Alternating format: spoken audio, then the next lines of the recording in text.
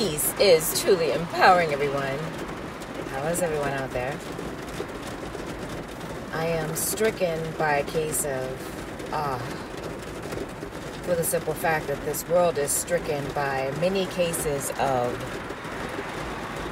illnesses, bodily illnesses, where our bodily organs are speaking to us on several different levels of cleanliness, expectations, and evolution.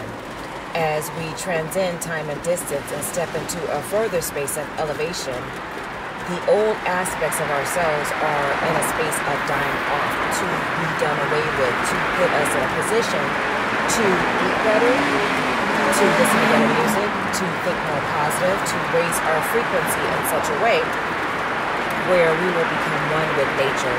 We will walk one with the universe and the elements thereof.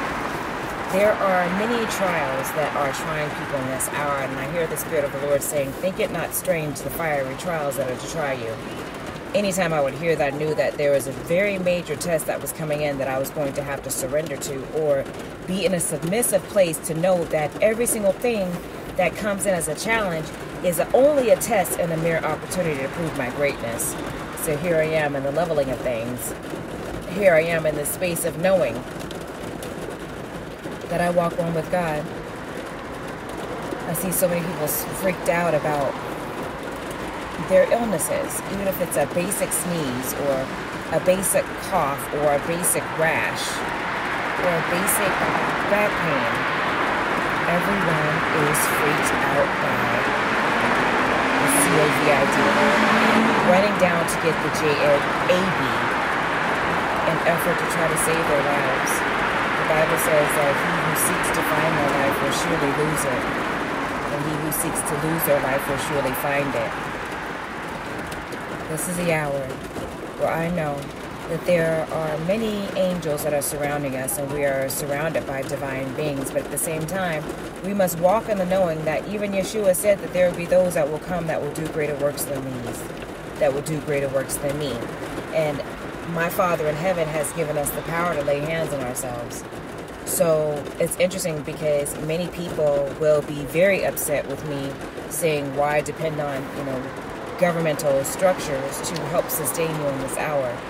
When in essence, it if you need that to fall back on, but not from a space to depend on it, to where you wholeheartedly have to live on that and that alone, to where you have become subservient to it because you have given your life to submissiveness.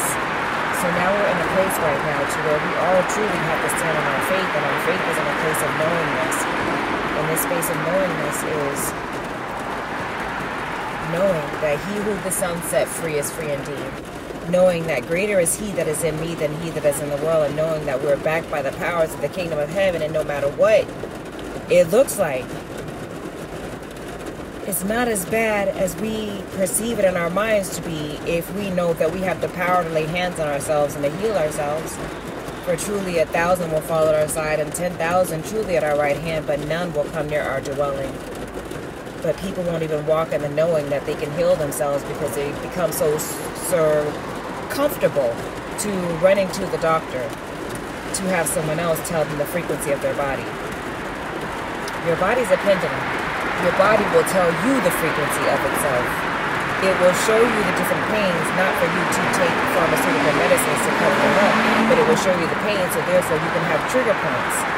You will know those specific lessons, and usually those specific lessons are with astrological signs of the body and each specific body part is dealing with a specific sign of some type of karma or something that you may have to map out with someone that you have an ought with or something that you have to clear up even the three wise men knew to look into the stars and to watch the stars but also know that the body is dealing with the elements of the stars thereof because you are the star the world has seemed to fall and prey to numbness of just dumbness it's like no one wants to look further into the metaphysical matter of the heart of things but yet be quick to run to someone else to give them affirmations regarding what it is that's dealing with their own bodily system.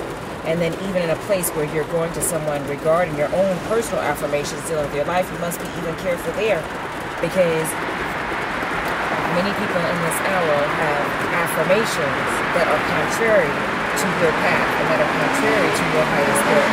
But if you walk in the knowing that you have the powers that are backed by the kingdom of heaven, it don't matter because whatever you see, you are walking in this knowing that a thousand will fall at your side and ten thousand at your right hand, but none will come near your dwelling. Mother Gaia, or Sean, or Earth as many will call it, is going through a deep cleansing. And the cleansing that is happening in this hour is a cleansing also of the state of mind. So many people have been so mixed and mingled in such darkness and depthness of darkness for so long that you really have to be mindful of the company that you keep. Because that specific company that you keep can also pull you into a world of negativity, can pull you into a world of fear, can pull you into a world of doubt. But you must stand in the knowings and the powers that's within you because I'm telling you, in this hour, only the strong will survive. And whatever it is that you fear, you're going to draw it to you. So if you fear catching this specific, whatever this is, you're going to catch something. Some type of symptom, some type of illness. Many of you could just be host to give it to those around you. But it's, as I stated earlier, don't be so busy trying to get people to come into your world, come into your circle, assuring them that they'll be safe with you. How do you know that you'll be safe with them? How do you know that once they depend on you so much to keep them safe from whatever it is that they're running from, how do you know that they won't turn on you? How do you know that they won't run from you when you're sick and leave you laying there sick or dying or ill because they're afraid of getting whatever it is that you have? This is why it's important to truly be in love in this hour. Because when you're truly in love, you can lose a limb, you can lose an eye, you can have your whole body with a flesh eating virus all over your entire body, your limbs, everything. And the person that is for you is going to love you no matter what, even if they got to take a food tray and push it through the door at you, they're not going to leave you. They're going to be by your side. And most importantly, they're going to know, and they're going to stand on the powers of knowing that God ain't going to let nothing happen to you because your walk is too dedicated. Your walk is too faithful. And from what I'm knowing in this hour, is that God went through a series where there are specific people in your life and specific people in the lives of others that were around you that were preventing you two from coming together to do the works of God, or you and people that are around you from coming together to do kingdom work. So God had to remove specific people out the way. And just because he had to remove those specific people out the way, and many of them he took home, or many of them he just had them relocate to another state or world. Because of that, whatever that experience was with them, it does not mean that their experience is going to be repeated the same. What it means is that now you're in kingdom position to do kingdom work. And even though there is trials and errors in this, you must not be caught up in the fear of no thing. You must walk in the knowledge and the knowledge of God Almighty. We must know that we are backed by the powers of the kingdom of heaven. And we must know that if God is before us, who can be against us? We must also know that no weapon that is formed against us shall prosper. We must also know that a thousand will fall at our side and ten thousand at our right hand, but none will come near our dwelling. And we must walk in the power and the anointing and the knowing that we are the great, great, great grand descendants of Abraham, Isaac, and Jacob. And we must most importantly walk in the knowing that God Almighty, our Father, still reigns on the throne.